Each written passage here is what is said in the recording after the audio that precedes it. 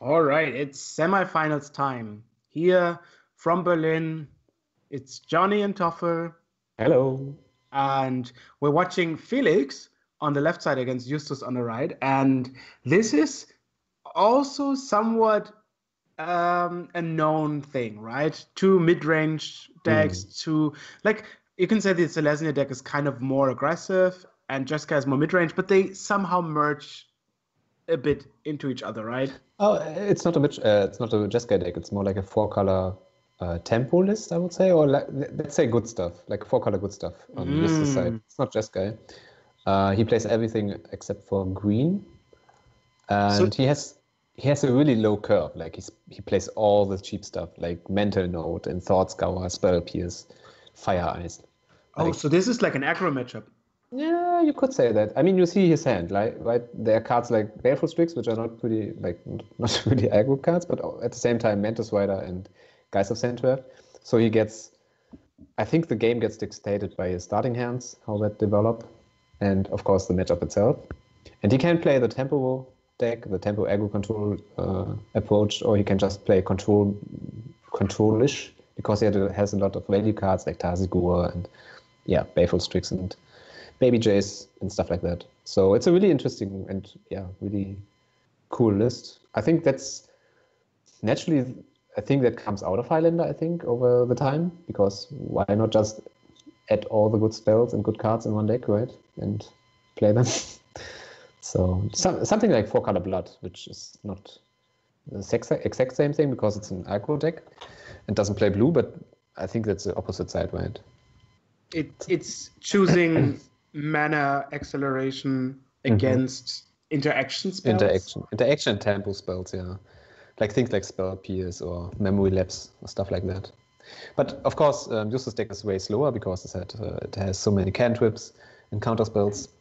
So, so you're basically yeah. choosing um, a bit consistency over mm-hmm. speed, right? Yeah, I would say that. Yeah.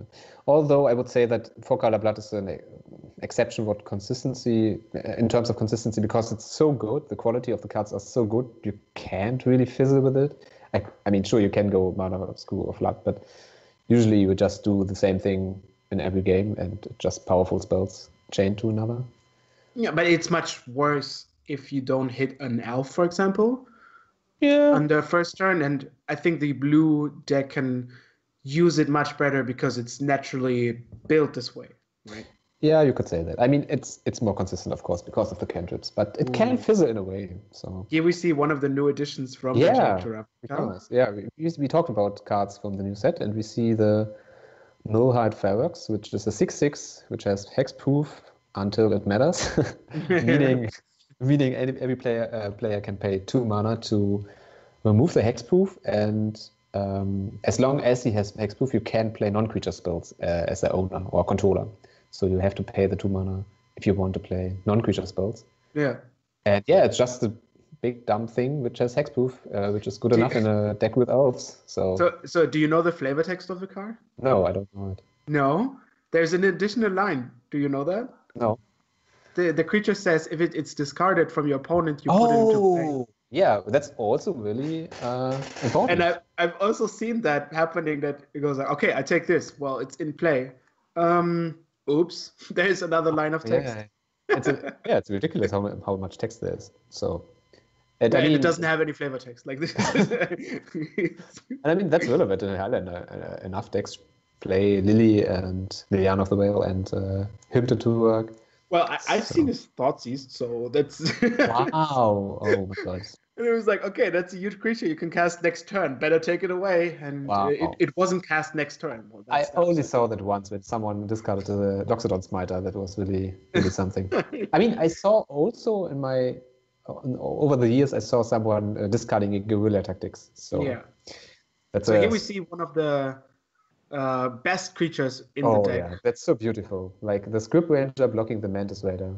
Oh, which creature did you mean? I mean the I meant the Mantis Rider, but oh, it was, a, okay. it was of course. I thought you meant the Scryb Ranger because I'm not joking. This card is insane. How much this card does? It's it's really insane. Like the the applications are unlimited, really. And I'm really a huge fan of the card. I played it back in 2010 in my blue green tempo list, and to this day, I think this card is really, really powerful. And yeah, here it is just blocking a Mantis Rider. So thank you. Forever, right? That's Forever. I mean, kind of, because uh, if you want to get in. Well, you could still untap it. Yeah, you can untap it, but usually you want uh, your Llanowar Elves and such things to untap. Like, for So- example, right now, you could play Bone Splitter, equip, attack, and let's see if they attack back. Oh, that's actually, yeah, you don't actually have to untap it. You can just threaten to untap it. Yeah, Exactly, yeah. yeah. Which is But- which is kind of slow, right? If your opponent deals with it, it's bad. Yeah, especially if you play against red, which can just burn it away. Um, but we see now the Brontodon, which I think is interesting because I would go for the Courser, I think, just because it makes the ways way easier and also generates card advantage, card advantage. But I think Yeah. I I think the idea behind this is the Yeah, Courser can- still can plays the land next turn, yeah, it's true. and it can't attack against the Mantis Rider. The thing is, um, he was tapped out, so that's why I would think I would rather resolve the value creature over the beatdown creature. But sure, that works too. You can now raise uh, pretty Yeah, quickly. it depends a little how you want to plan your game, right? Yeah, that's if you and say I'd rather be on the defense in game or live, Courser seems cool in play. well. My idea would be that I maybe play the Bone Splitter next turn instead of uh, the Ferox, Hmm. depending on if my opponent taps out or not. That's why I But would like not to have. the cast- the other thing is that not casting the six six is kind of loose, right? It's a six six. You mean if, if your opponent has uh, open mana?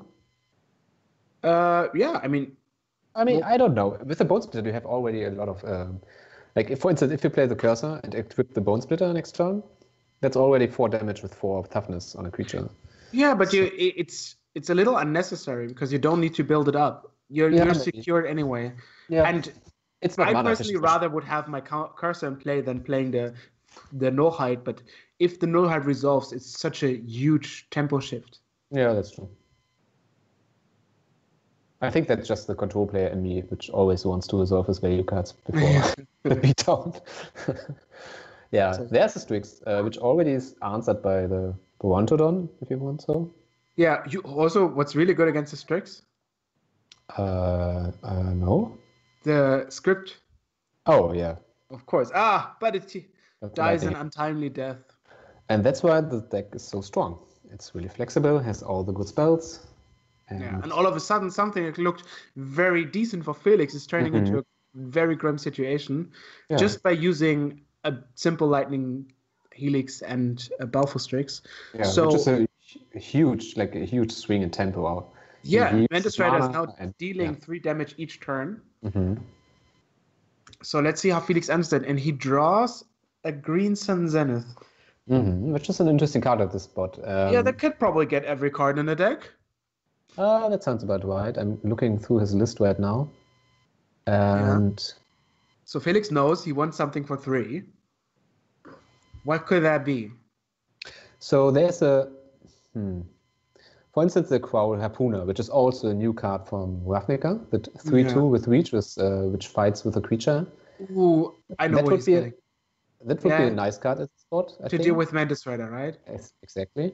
Maybe he's getting the knight to kill the The Baleful Balfour Strix. Strix. It needs to be something for three right now. The Like- thing is, if you kill the Strix, you just have, yeah, I mean, you have the Brontodon, which can attack then, but the, after that, you only have a 2 1 body, which, yeah, Yeah, but the Brontodon can't attack if you don't, deal with the Strix. So, yeah, maybe that would be, yeah. Ah, there is another new card from Guilds of Ravnica.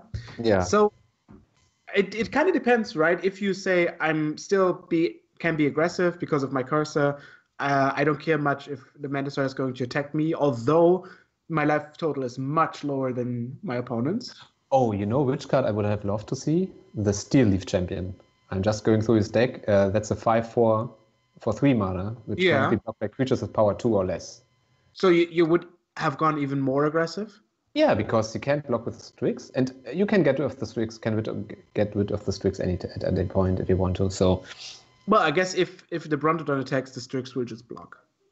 yeah, the thing is, the Knight doesn't do anything to the board because of the Mantis Rider. So, You're basically saying that a five four is better than a three four and a two one. Right. exactly, especially a three um, a 5-4 which can't be blocked by a lot of creatures in Justus deck, which Yeah. Felix doesn't know, but of course he plays all the cheap stuff, right? So now we see a Planeswalker, which is always a good thing. But uh, with one blue mana up, I would feel comfortable playing maybe something else. I, I also like the hardcore island backup. Like not even Hallowed Fountain, just island. It's like I have not even a sword. I have nothing basically. Just play whatever. Yeah, that's uh, that's maybe a little edge you can get if you do things like that. Yeah, I, it, it's good. Like Yeah, true. people say like, oh, they didn't think about what they want to have untapped, and then hmm so, what would you go for that uh, in this spot? Yeah, interesting. I think against Mentor. The thing is, the six six doesn't seem that strong against that. No, no, no. I think I think you you want to search your deck for something relevant and play the lands and maybe get I don't know remove a spell. I mean, are there many removal spells in the Selesnya deck? Wait a second. Um, don't you attack with the Brontodon? Like, aren't you happy with the trade against the Mentor and the Raider? Like, you, you choose one creature? Yeah, th- you can do that. That's fine. I think that would be a fine attack. Like, the Mentor can get out of hand really quickly. Ooh, but now Felix kind of guesses. Ah, maybe he Oh. doesn't have any creatures. Yeah, that's interesting. You mean spells? Yeah, yeah, non-creature. Mm-hmm. Yeah.